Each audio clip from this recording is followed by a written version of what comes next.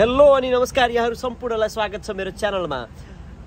धेरै भएको थियो मैले भिडियो बनाउन पाइरहेको थिएन समयको व्यस्तताले गर्दाखेरि आज भने म तपाईँहरूलाई फेरि अर्को भिडियो लिएर आइसकेको छु। र अब भने म क्यानाडा सम्बन्धी जानकारीमूलक भ्लगहरू बनाउने नै छु धेरैभन्दा धेरै बनाएर म हजुरहरूलाई सहयोग गर्ने नै छु भन्ने आशा दिलाउँदै आजको आजको यस भिडियोमा मैले स्टडीसँग रिलेटेड रहेर कुरा गर्नेछु र मेरो च्यानलमा आज एकजना स्पेसल गेस्ट हुनुहुन्छ। उहाँ क्यानाडामा आफैले स्टडी पर्मिट एप्लाई गरेर आउनुभयो र पिआर पनि पाइसक्नु भएको छ। तिन वर्षको टोटल अवधिमा पिआर पाइसक्नु भएको छ। उहाँको आफ्नो एक्सपिरियन्स यस भिडियोमा सेयर गर्न गइरहेको छु।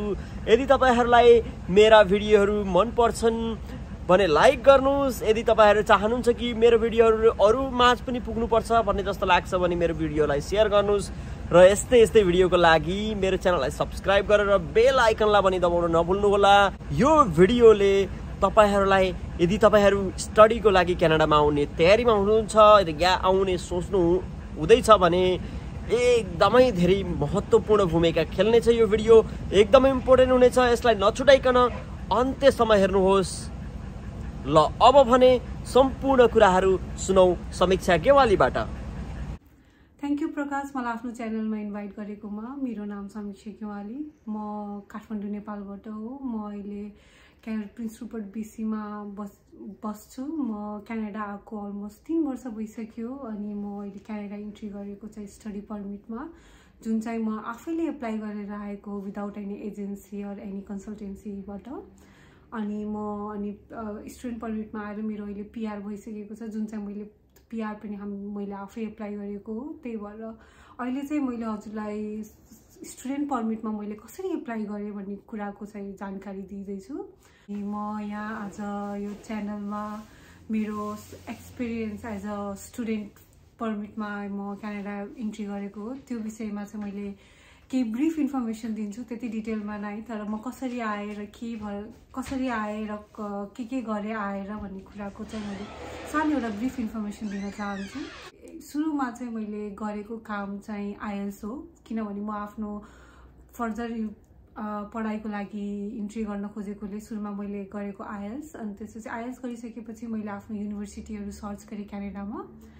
अनि युनिभर्सिटी सर्च गर्दाखेरि मैले आफ्नो आफ्नो बेस आफ्नो ब्याकग्राउन्ड म मेरो ब्याकग्राउन्डको के छ मैले के गरेको थिएँ ब्याक इन नेपाल त्यो बि त्यो अन्तर्गत मैले त्यही फ्याकल्टीमा नै मैले सर्च गरेँ अनि मैले युनिभर्सिटी सर्च गरिसकेपछि मैले एउटा आफ्नो युनिभर्सिटी भे भेटाएँ अनि भेटाइसकेपछि मैले इन्टरनेसनल एडमिसन अफिसरमा अफिसरहरूलाई चाहिँ कन्ट्याक्ट गरेँ जहाँ चाहिँ मैले के के चाहिनुपर्ने मेरो डकुमेन्ट्सहरूको बारेमा रिक्वायरमेन्टहरू के के छ भन्ने कुरा मैले थाहा पाएँ। अनि त्यसपछि मैले फर्स्ट काम मैले सबै डकुमेन्ट्सहरू एसेम्बल गरेँ। अनि त्यसपछि मैले उहाँ त्यो डकुमेन्ट्सहरू चाहिँ पठाएँ युनिभर्सिटीलाई अनि त्यो ड्युरेसनमा अलमोस्ट लाइक एक वान मन्थ पछि मलाई युनिभर्सिटीबाट रिप्लाई आयो कि एक्सेप्टेन्स भइसकेको छ कलेजको लागि भनेर।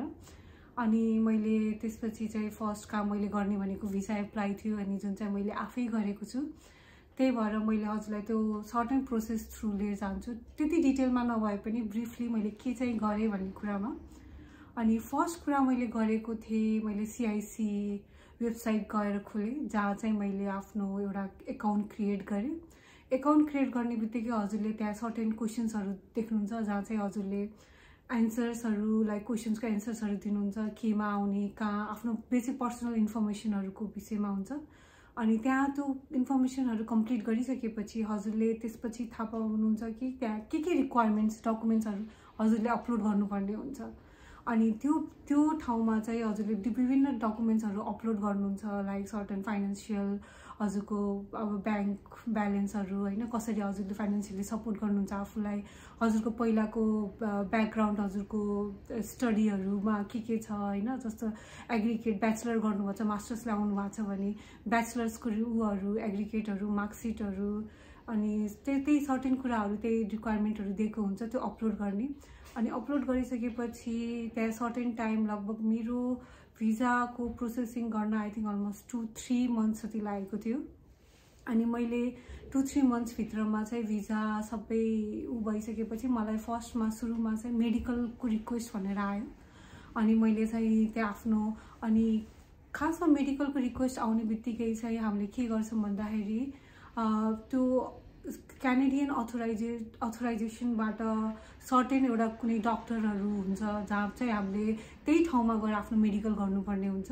त्यही भएर हामीले चाहिँ त्यो एउटा ठाउँमा बुक गरेर हामीले आफ्नो मेडिकल गरिसकेपछि त्यो मेडिकलको रिपोर्ट चाहिँ उनीहरूले डाइरेक्ट सिआइसीलाई पठाइदिने हुन्छ। त्यही भएर चाहिँ त्यो मेडिकल बुक गरिसकेपछि मैले आफ्नो मेडिकल गरेँ अनि गरिसकेपछि त्यही अथोराइजेसन क्यानाडा अथोराइजेसन जुन चाहिँ हुन्छ त्यो सबै कुराहरू हजुरको सिआइसी वेबसाइटमै लेखा हुन्छ। त्यही भएर त्यति साह्रो अप्ठ्यारो नहोला जस्तो लाग्छ मलाई खोज्नलाई। अनि मेडिकल गरिसकेपछि चाहिँ मैले अनि अपलोड भइसकेपछि जब मेडिकल अपलोड भइसकेपछि मलाई कन्फर्मेसन आयो। मेडिकल अपलोड भयो मेडिकल क्लियर भयो भनेर। अनि त्यसपछि चाहिँ मेरो लगत्तै दुई तिन दिन लगत्तै मेरो आयो मलाई कन्फर्मेसन कि मेरो पासपोर्ट भिजा एक्सेप्ट भइसकेको छ अनि पासपोर्ट रिक्वेस्टको लागि। अनि मैले मेरो पासपोर्ट पठाएँ एउटा त्यही फेरि त्यो पनि पासपोर्ट पठाउने पनि हजुरको एम्बेसीमा हो। जुन चाहिँ नजिकको एम्बेसी छ कुनै पनि त्यसमा हजुरले पठाउन सक्नुहुन्छ। अनि पासपोर्ट पठाइसकेपछि हजुरको दुई तिन दिनमा पासपोर्ट स्ट्याम्प भएर आउँछ। अनि लगत्तै त्यही हो एउटा भिजा प्रोसेसिङ जुन चाहिँ मैले गरेको। खासै केही गाह्रो छैन। हजुरको भिजा प्रोसेसिङ गर्दा मैले एउटा कुरा छुट्याए जस्तो लाग्यो। हजुरको भिजा प्रोसेसिङ गर्दा चाहिँ हजुरले सर्टेन पैसा तिर्नुपर्ने हुन्छ। मैले I think around one fifty dollars Canadian तिर जस्तो लाग्छ। I'm not sure about that तर त्यो रेट त्यो त्यो रेटलाई हजुरले लिएर चल्दा चाहिँ हिँड्दा चाहिँ ठिक हुन्छ। अनि अब मेरो भिजा एक्सेप्टेन्स भइसकेपछि सबै स्ट्याम्प आइसकेपछि मैले पहिलो गर काम भनेको मैले आफ्नो टिकट बुक गर्ने थियो फ्लाइटको हजुर मैले फ्लाइटको टिकट बुक गरिसकेपछि अनि एउटा पोर्ट अफ इन्ट्री हुन्छ। हजुरले चाहिँ त्यो त्यो पोर्ट अफ इन्ट्रीमा चाहिँ बल्ल हजुरले स्टडी पर्मिट पाउनुहुन्छ। त्योभन्दा अगाडि हजुरको सिर्फ एउटा उसमा चाहिँ पासपोर्टमा भिजाको स्ट्याम्प मात्र लगाएको हुन्छ। अनि त्यो पोर्ट अफ इन्ट्रीमा चाहिँ हजुरले इमिग्रेसन अफिसरसिम गएर अनि आफ्नो सबै थोक उ गरेर अनि उसले चाहिँ हजुरलाई स्टडी पर्मिट दिन्छ। जुन चाहिँ हजुरलाई बल्ल अगाडि आफ्नो कलेजमा जाँदाखेरि आफ्नो कलेजमा उ गर्दाखेरि त्यो स्टडी पर्मिट दिनुपर्ने हुन्छ। त्यो चाहिँ हामीले पोर्ट अफ इन्ट्रीबाट पाउँछौँ। अनि त्यहाँबाट आइसकेपछि म आफ्नो युनिभर्सिटी आफ्नो ठाउँमा जहाँ म पढ पढ्न लागेको थिएँ त्यहीँ पुगेँ अनि त्यहाँ पुगेर मैले आफ्नो कलेज गएँ फर्स्टमा अनि आफ्नो स्टडी पर्मिट अनि सबै चिज दिएँ। अनि त्यसपछि फर्स्ट अफ अल म ने क्यानाडा छिर्ने बित्तिकै मैले गरेको काम हो। मैले आफ्नो एमएसपी एप्लाई गरेको थिएँ त्यो टाइममा किनभने मेडिकल सर्भिस प्लान भन्ने कुरा हजुरले आउने बित्तिकै एप्लाई गर्नुपर्ने हुन्छ।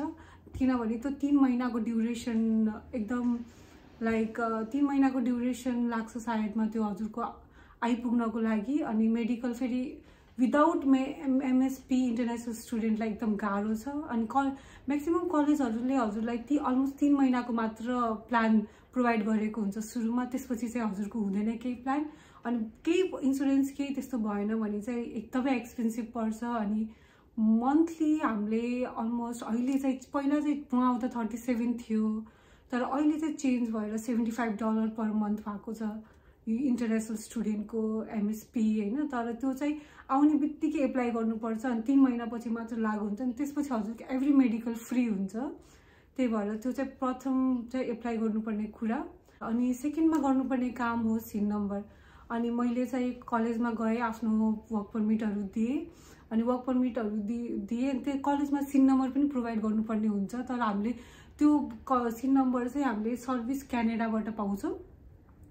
सर्भिस क्यानाडामा गएर सिन नम्बर एप्लाई गरेर त्यो दुई मिनटको काम हो। कोही कहिले कहिले काहीँ केही कुरामा इमिग्रेसन प्रोसेसमा केही ऊ भएको छ भने डिले हुनसक्छ तर नआउने हुँदैन। तर त्यही भएर चाहिँ सिन नम्बर हजुरले पाइसकेपछि चाहिँ त्यो कलेजलाई पनि प्रोभाइड गर्नुपर्ने हुन्छ। त्यही भएर चाहिँ प्रथम अब काम गर्नलाई यो अरू केही कुरा गर्नलाई त्यो सिन नम्बर चाहिँ स्योर चाहिन्छ। त्यही भएर पहिलो काम भनेको स्टडी पर्मिट लिएर आइसकेपछि सिन नम्बर गराउनु पर्ने हुन्छ। प्रथम कुराहरू सबै त्यही नै हो अनि मैले अब हजुरलाई भन्छु केही कुराहरू जब म आइसकेपछि मैले खोजेको या मैले गरेको कुराहरू जस्तो मलाई थाहा थिएन। जब म आएँ यहाँ अनि यहाँ आइसकेपछि मैले जब स्टडी पर्मिट पाएँ तब मैले थाहा पाएँ कि म सिर्फ ट्वेन्टी आवर्स एलिजिबल छु काम गर्नको लागि। अनि जुन चाहिँ मेरो अब म ट्वेन्टी आवर्सभन्दा बढी काम गरेँ भने चाहिँ त्यो इलिगल मानिन्छ यहाँ। त्यही भएर जुन चाहिँ पिआरलाई पनि एफेक्ट पार पार्छ भनेर भन्छन् है। अनि त्यो पनि स्योर हो किनभने यदि का वर्क पर्मिटको ड्युरेसनमा ट्वेन्टी आवरभन्दा बढी काम गऱ्यो भने चाहिँ हजुरको सिन नम्बर थ्रु थाहा पाउँछ इमिग्रेसनले त्यही भएर चाहिँ सकेसम्म चाहिँ ट्वेन्टी आवर्सको बिचमा चाहिँ मात्र काम गर्नु होला। अनि अनि हजुरले समर भ्याकेसनमा त्योभन्दा बढी काम गर्न सक्नुहुन्छ। किनभने त्यो भ्याकेसन हो। भ्याकेसनमा हजुरले फुल टाइम काम गर्न एलिजिबल हुनुहुन्छ। अनि आउने बित्तिकै मैले अब सुरुमा सिन नम्बर दिएँ कलेजमा एप्लाई गरेँ। आफ्नो अनि त्यसपछि मैले जबहरू खोज्न ट्राई गरेँ। जबहरू खोजिसकेपछि अब सुरुमा हामीले पाउने अब मैले खोज्ने यताउति सबैतिर जहाँसम्म आफ्नो फ्याकल्टी आफ्नो ब्याकग्राउन्ड अनुसार खोज्ने कोसिस गरेँ। अब फर्स्ट टाइम आएको उसलाई गाह्रै हुन्छ सुरुमा तर अब जुन चाहिँ बेसिकली आउँछ कल्चर बुझ्नको लागि चाहिँ मैले सुरुमा क्यासियरहरू एप्लाई गरेको थिएँ। अनि जहाँबाट चाहिँ मैले मान्छेहरूसँग बोल्न यताउति गर्न कल्चरसँग घुलमिल हुन त्यसले चाहिँ मलाई धेरै नै हेल्प गरेको थियो। त्यही भएर चाहिँ सकेसम्म चाहिँ काम गर काम यस्तो गर्ने जहाँ चाहिँ कस्टमर सर्भिस होस् लाइक रिप्रेजेन्टेटिभहरू या केही होइन जहाँ चाहिँ हजुरले मान्छेहरूसँग बोल्न हिँड्न यताउति कुरा गर्न जहाँबाट चाहिँ हजुर घुलमिल कनेक्सन बनाउन सक्नुहुन्छ त्यो चाहिँ एउटा राम्रो राम्रो ऊ हो स्टार्टिङ हो जस्तो लाग्छ मलाई चाहिँ बाहिर आएर। अनि अनि त्यसपछि पढाइको विषयमा भन्नुपर्दाखेरि मैले म यहाँ आइसकेपछि अब सर्टेन कुरा हो कि हामीले अब जसरी पढिरहेको छौँ त्यो सेम हामीले यहाँ आएर त्यही सेम स्टाइल हुँदैन पढ्ने। अब हामीले सबै पढाएर के अरे किताबहरू घोकेर त्यसरी पास गरेको हुन्छौँ। अब यहाँ चाहिँ सबै प्र्याक्टिकल्ली बेस हुन्छ। अनि जुन चाहिँ मलाई चाहिँ एकदम सजिलो लागेको थियो जसरी पढाइमा पुरा घोकेर यो गरेर इक्जाम दिनुभन्दा प्र्याक्टिकल्ली त्यसैलाई प्र्याक्टिकल्ली बेस भएर पढ्नु चाहिँ एकदम एकदम सजिलो लागेको थियो मलाई। अनि त्यसपछि मान्छे बुकको किरा नभइकन बाहिरतिर सबै कुरा जानेर डिपली गएर अनि त्यो विषयमा पढ्न चाहिँ धेरै नै रमाइलो हुन्छ अनि सजिलो पनि हुन्छ। हाम्रो हिसाबमा चाहिँ अब कोही कोही बेला गाह्रो हुन्छ किनभने अब जहाँ उहाँ चाहिँ एउटा इक्जाम दिए पुग्ने हुन्छ नेपालमा तर यहाँ चाहिँ हजुरले every month different different assignments डिस्कसनहरू हुन्छ। अनि त्यसपछि हजुरले बिचमा ग्रुप वर्कहरू हुन्छ प्रेजेन्टेसनहरू हुन्छ। त्यो सबै गर्दै जानुपर्छ। नि त्यही एकुमुलेट भएर हजुरको लास्टको जिपिएहरू बन्छ। उहाँ जस्तो एउटा इक्जाम दियो अनि फाइनल त्यस्तो हुँदैन। त्यही भएर चाहिँ एउटा सर्टेन रे टाइम हजुरले आफ्नो पढाइलाई दिइरहनुपर्छ। जस्तो अब एक दिन पढेर म पास पास हुन्छु या म ऊ गर्छु भन्ने हुँदैन। त्यो सर्टेन टाइम हजुरले एभ्री एभ्री विक यताउति गरेर आफ्नो पढाइलाई रेगुलर दिनुपर्छ इम्पोर्टेन्स दिनुपर्छ यहाँ चाहिँ। अनि अनि अर्को कुरा मैले मेरो स्टडी मैले भनिसकेँ कि म युनिभर्सिटी खोजेर आएँ। मैले कस्तो युनिभर्सिटी खोजेँ भन्ने कुरा चाहिँ मैले आई थिङ्क मैले भन्न बिर्सेँ होला सायदमा तर मैले चाहिँ एउटा मैले यस्तो युनिभर्सिटी खोजेको थिएँ जहाँ चाहिँ मैले दुई वर्ष पढिसकेपछि पछाडि तिन वर्षको वर्क पर्मिट जुनले चाहिँ मलाई म पढिसकेपछिको पछाडि वर्क एक्सपिरियन्स पनि उ गर्नलाई हेल्प गरोस् भनेर मैले त्यस्तो खालको एजुकेसन र युनिभर्सिटी खोजेको थिएँ जहाँ चाहिँ मैले दुई वर्ष चाहिँ मैले आफ्नो एजुकेसन कम्प्लिट गरेँ अनि बाँकीको तिन वर्ष चाहिँ मैले आफ्नो वर्क एक्सपिरियन्स उ गरेँ। कलेक्ट गर्न सकेँ अनि फेरि अर्को कुरा चाहिँ म स्टुडेन्ट पर्मिटबाट आएर म अहिले पिआर भइसकेको छ। अनि स्टुडेन्ट पर्मिटबाट आएँ दुई वर्ष मैले स्टडी गरेँ। अनि त्यसपछिको एक वर्ष मैले अफ लाइक राम्रो जागिर यताउति खोजेर उ गरेँ। अनि एक वर्षको एक्सपिरियन्स भइसकेपछि म क्यानाडाको पिआरको लागि एलिजिबल हुन्छु। त्यही भएर चाहिँ त्यो एउटा पाथवे हो जुन चाहिँ म चाहिँ स्टडी टु पिआर तिन वर्षको ड्युरेसनमा आफूलाई उ गर्न सक्छु। त्यही भएर चाहिँ यस्तो खालको एजुकेसन खोज्नु जहाँ चाहिँ हजुरको वर्क एक्सपिरियन्स पनि होस् त्यो पछाडि पढ पढाइ पछाडि हजुरको वर्क एक्सपिरियन्स भयो भने हजुरलाई केही त्यस्तो गाह्रो हुँदैन। जुन चाहिँ फेरि भिजाको एप्लाई गर्ने यो गर्ने त्यो गर्ने। अफकोर्स हजुरले भिजा एप्लाई गर्नुपर्छ त्यो स्टडी पर्मिट सकिसकेपछि। त्यो चाहिँ तर कलेजको डिग्री हजुरले एग्रिकेट सर्टिफिकेटहरू ठ्याक्क हालिसकेपछि त्यही नै त्यही अनुसार नै हजुरको तिन वर्षको वर्क पर्मिट आउँछ त्यो फेरि रिएप्लाई गर्नु पर्दैन एभ्री कुरा। त्यही भएर चाहिँ खोज्दाखेरि चाहिँ स्टडीहरू त्यसरी खोज्दा चाहिँ ठिक हुन्छ जस्तो लाग्छ मलाई। यही हो अब अरू केही रह्यो भने चाहिँ अब कमेन्टमा लेख्नु होला। म हजुरलाई अब यही विषयमा केही रह्यो भने चाहिँ हेल्प गर्छु। अनि थ्याङ्क यू प्रकाश अब यही नै हो। धन्यवाद। नमस्ते। थ्याङ्क यू समीक्षा तपाईँले मेरो इन्भिटेसन एक्सेप्ट गरेर मेरो च्यानलमा आएर आफ्ना महत्त्वपूर्ण कुराहरू राखिदिनु भयो आफ्नो एक्सपिरियन्स बताउनु भयो यो तपाईँले बताएको हर एक कुराहरू जो पनि स्टडीको लागि प्रिपेयर गर्दै हुनुहुन्छ क्यानाडाको लागि उहाँहरूको लागि एकदमै महत्त्वपूर्ण भूमिका खेल्ने नै छ भन्ने आशका साथ आजको यस विशेष भिडियोबाट म बिदा चाहन्छु। यदि यस्तै यस्तै भिडियोहरू तपाईँलाई मनपर्छ भने मेरो च्यानललाई सब्सक्राइब गरेर बेल आइकन दबाउनुहोस्। अर्को भिडियो मैले अपलोड गर्न साथ तपाईँहरूलाई नोटिफिकेसन बन्नेछ। थ्याङ्क यू धन्यवाद। खुसी रहनुहोस् हाँसिरहनुहोस्